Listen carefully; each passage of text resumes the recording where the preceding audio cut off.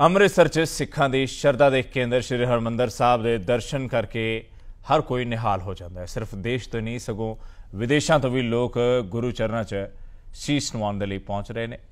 ਐਸੇ ਦੇ ਚਲਦਿਆਂ ਦਿੱਲੀ 'ਚ ਇਟਲੀ ਦੇ ਡੈਪੂਟੀ ਐਮਬੈਸਡਰ ਮਾਰਚੇਲਾ ਯਾਕਨੀਨੋ ਤੇ ਕਾਉਂਸਲਰ ਕਮਰਸ਼ੀਅਲ ਫ੍ਰਾਂਚੈਸਕੋ ਸ਼੍ਰੀ ਦਰਬਾਰ ਸਾਹਿਬ ਪਹੁੰਚੇ। ਉਹਨਾਂ ਸ਼੍ਰੀ ਗੁਰੂ ਗ੍ਰੰਥ ਸਾਹਿਬ ਜੀ ਦੇ ਅੱਗੇ ਨਤਮਸਤਕ ਹੋ ਕੇ ਬਾਣੀ ਵੀ ਸਰਵਣ ਕੀਤੀ। ਮੱਥਾ ਟੇਕਣ ਤੋਂ ਬਾਅਦ ਸ਼੍ਰੀ ਅਕਾਲ ਤਖਤ ਸਾਹਿਬ ਦੇ ਜਥੇਦਾਰ ਗਿਆਨੀ ਰਗਵੀਰ ਸਿੰਘ ਦੇ ਨਾਲ ਉਹਨਾਂ ਮੁਲਾਕਾਤ ਕੀਤੀ।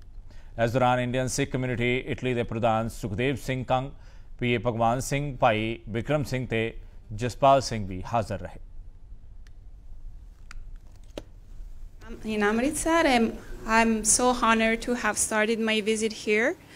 Uh, we have in Italy a very huge and prosperous Sikh community, and it is uh, my pleasure uh, to be also here to thank the representative of the Sikh religion for the contribution that they are offering to the well-being of the Italian population. I really feel blessed of being in such a holy place.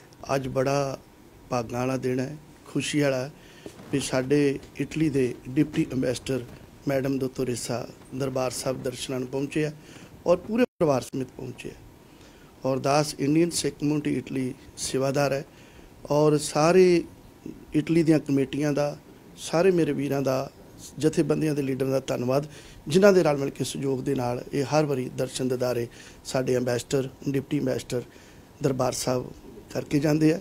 ਕਿ ਜਿਹੜੀਆਂ ਆਦੀਆਂ ਸਮੱਸਿਆਵਾਂ ਨੇ, ਜਿਵੇਂ ਕਿ ਕਿਰਪਾਨ ਦਾ ਮਸਲਾ ਹੈ ਜਾਂ ਧਰਮ ਦੀ ਜਿਹੜੀ ਰਜਿਸਟ੍ਰੇਸ਼ਨ ਹੈ ਉਹ ਕਰਾਉਣ ਦਾ ਮਸਲਾ ਜਾਂ ਹੋਰ ਵੀ ਜਿਹੜੇ ਕੋਈ ਛੋਟੇ-ਮੋਟੇ ਵੀ ਕੋਈ ਮਸਲੇ ਸਨ, ਉਹਨਾਂ ਬਾਰੇ ਜਿਹੜੀ ਵਿਸਤਾਰ ਸਹਿਤ ਉਹਨਾਂ ਦੇ ਨਾਲ ਗੱਲਬਾਤ ਵੀ ਹੋਈ ਹੈ ਔਰ ਉਹਨਾਂ ਨੇ ਭਰੋਸਾ ਦਿੱਤਾ ਹੈ ਕਿ ਬਹੁਤ ਜਲਦ ਆਪਣੇ ਦੇਸ਼ ਨਾਲ ਉਹ ਗੱਲਬਾਤ ਕਰਕੇ ਜਿੰਨੇ ਵੀ ਸਾਡੇ ਮਸਲੇ ਨੇ, ਉਹ ਹੱਲ ਕਰਵਾਉਣ ਦਾ ਯਤਨ ਕਰਨਗੇ।